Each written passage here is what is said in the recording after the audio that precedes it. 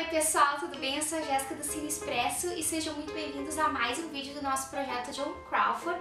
Está chegando ao seu quarto vídeo, então se tu ainda não conhece esse projeto em que a gente vai falar um pouco aqui da filmografia da John Crawford, vou deixar o link aqui no card do nosso primeiro vídeo. Hoje nós vamos falar sobre Grande Hotel, que é um dos filmes mais bonitos, eu acho, esteticamente da John Crawford dos anos 30. E que, como eu falei semana passada, é um dos filmes que representa a forma como a MGM fazia cinema nessa época. Então, como eu disse, Grande Hotel é um epíteto do que, que foi a MGM nos anos 30, ou seja, muito glamour, muitos retakes, muitas reescritas de roteiro e tudo isso se deve a um cara chamado Irving Thalberg que estava ali nos bastidores em Hollywood. Ele era um produtor, um dos grandes cabeças da MGM nessa época.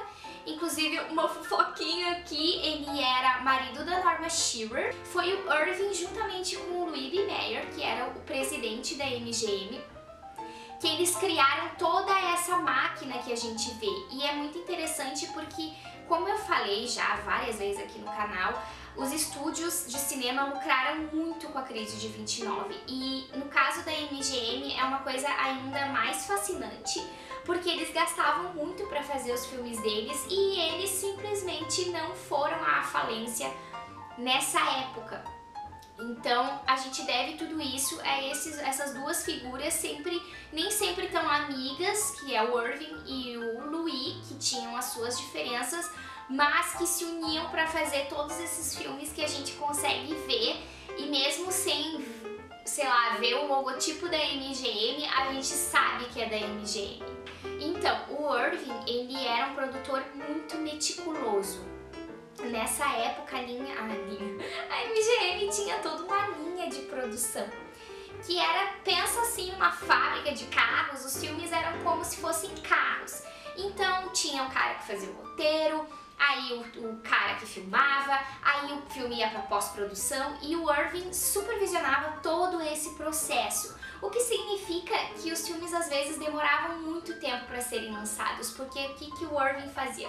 O Irving ia lá, discutia o roteiro com os caras, eles mudavam, eles filmavam, aí o Irving assistia os dailies, que era a filmagem diária, aí o Irving via assim, hum, não ficou bom. E aí ele, o filme voltava para pós-produção para dar os ajustes lá, dar a recalchutada para ficar como o Irving imaginava que o filme deveria ser. E obviamente que às vezes ele entrava em conflito com o próprio diretor do filme, que tinha uma visão diferente. E com o Grande Hotel aconteceu exatamente isso. O Irving trabalhou muito ao lado do diretor do filme, que é o Edmund Goldwyn, e eles juntos criaram uma das melhores produções da época, que inclusive faturou o Oscar de melhor filme. E a MGM, como não era idiota nem nada, como eu falei desse sistema da fábrica de carros, tinha um sistema dentro da, dessa fábrica de carros que eram as pessoas que liam os roteiros e que procuravam histórias para a MGM. E aí chegou a história de Grande Hotel, que é baseado num romance, do, um romance homônimo da Vicky Baum. E aí a MGM pensou, bah, essa história é muito boa e vamos, vamos pegar e vamos adaptar ela. Eles financiaram eles financiaram a peça na Broadway para poder comprar os direitos e fazer no cinema. Né? E esse filme, ele conta a história de vários personagens, no caso, cinco personagens. A gente tem a Gruzinskaya, que é a Greta Garbo, a Flemchen, que é a Joan, o Kringelen, que é o Lionel Barrymore, o Baron von Geider, que é o John Barrymore, o irmão do Lionel Barrymore, que aqui a gente faz tudo em família, né? E o Pricing, que é o Wallace Berry. E a história dessas cinco personagens vão se cruzar durante o filme. Então é muito interessante porque na primeira cena de Grande Hotel, o filme meio que já te dá uma pista de que isso vai acontecer. O diretor, o Edmund Goldwyn, queria que a primeira cena fosse um prato saindo da cozinha e indo até o hóspede do hotel para ele mostrar como que o grande hotel era super grande e chique e tudo mais. Mas o Irving não quis, ele quis dar preferência para justamente mostrar essa ligação entre essas cinco personagens. Então o filme começa com as telefonistas do grande hotel atendendo várias ligações e depois corta para os personagens, e aí cada personagem numa cabine telefônica diferente falando.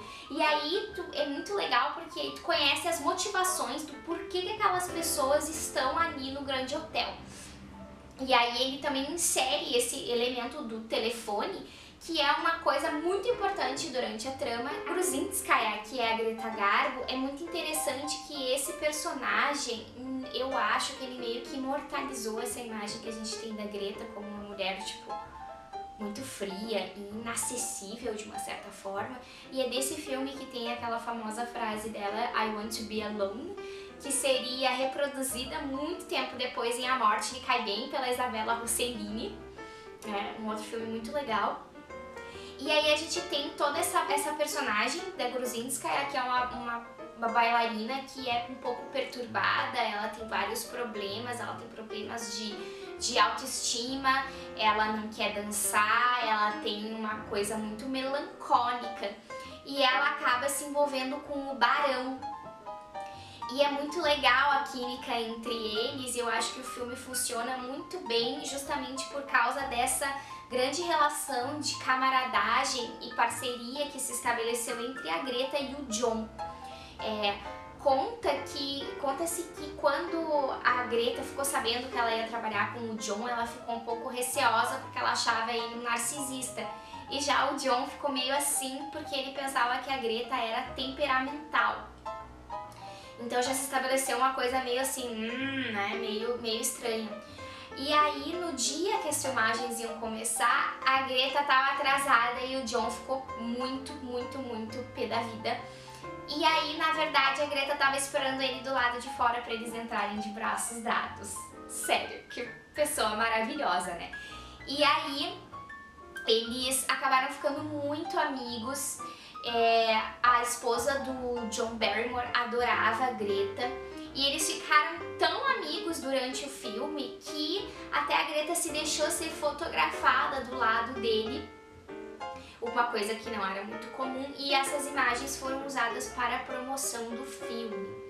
O papel da Joan como a estenógrafa é muito legal, é um papel que aparentemente não tem importância, muita importância quando começa o filme, mas que lá pelas tantas, lá pelo meio pro fim, tu percebe a, a, como ela vai ter uma grande, um grande papel dentro daquela trama, dentro daquele plot twist que eu falei pra vocês. E eu não preciso nem dizer que ela tá maravilhosa. É, os figurinos é uma coisa fantástica. E é muito legal que a gente tem nesse filme só essas duas personagens femininas, né, a Gruzinskaya e a Flemchen, e elas são muito diferentes, assim. A Gruzinskaya tem uma coisa muito mais melancólica, uma coisa que eu até acho que, assim, é uma visão que os americanos tinham dos europeus, uma coisa mais, mais fechada, mais fria mesmo. E já a Flemchen, ela é super uau, super espivitada e ela deixa o, Kring, o desculpa, ela deixa o barão a, a papar a bunda dela no filme, uma coisa que eu fiquei meio, oh, um pouco assim, chocada quando eu vi, porque faz parte dessa personalidade dela, desse caráter dela, um, uma coisa muito autoastral, muito assim, muito americana, sabe? Eu vejo assim essas duas personagens. Infelizmente, elas não gravaram cenas juntas, nem a Joan e a Greta. Isso era uma coisa que a Joan se ressentia bastante, né? E, e, a Joan era uma grande admiradora do trabalho da Greta, né? Tanto é que ela ficou muito chateada quando a Greta não foi na leitura do roteiro de Grande Hotel. E aconteceram outras situações entre elas. Uma delas é que a Joan sempre passava pelo camarim da Greta e dizia: Ah, é, bom dia, né, Miss Garbo? E a Greta nunca respondia. E aí teve um dia que a Joan tava atrasada e que ela passou e não disse o bom dia. E aí diz que a Garbo saiu do camarim dela e tipo, né, olá Joan, e daí a Joan ficou tipo, uau, sabe, assim, um momento bem fangirl da Joan. E outra situação muito fofa é de uma vez que, em que elas se encontraram numa escadaria eu acho que uma ia descer e a outra ia subir. E aí rolou aquela coisa assim, tipo, ai, com licença e coisa e tal. E aí diz que a Greta pegou o rosto da Joan nas mãos e disse que, que ela lamentava muito que elas não, não teriam cenas juntas.